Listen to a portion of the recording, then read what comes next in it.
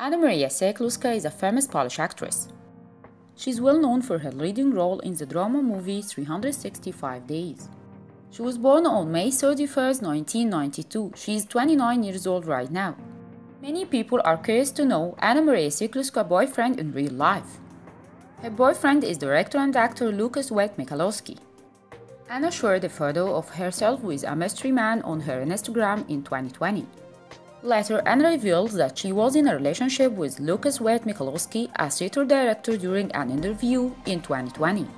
Her boyfriend was born on October 8, 1974, in Lublin, Poland. He is 47 years old right now.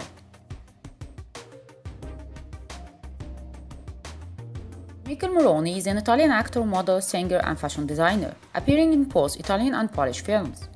He was born on October 3, 1990 in Bitonto, Italy. His age right now is 31 years. About his dating life, Michael was rumored to be dating his 365 Days This Day co-star Simon Susinna in June 2021.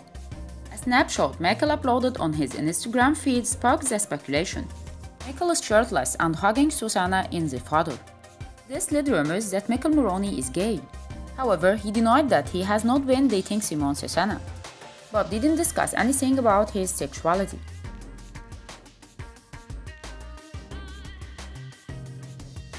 Simone Susinna was born on November 14, 1993 in Catania, Italy.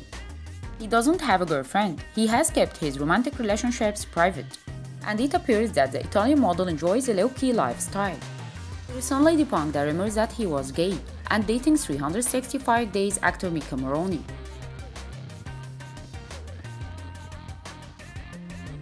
Natasha Urbanska is a Polish actress, singer, dancer, and TV presenter. Over the years, she has appeared in a number of films and TV shows.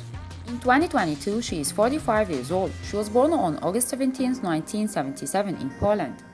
In August 2008, Natasha tied the knot with her longtime boyfriend Janusz Józefowicz.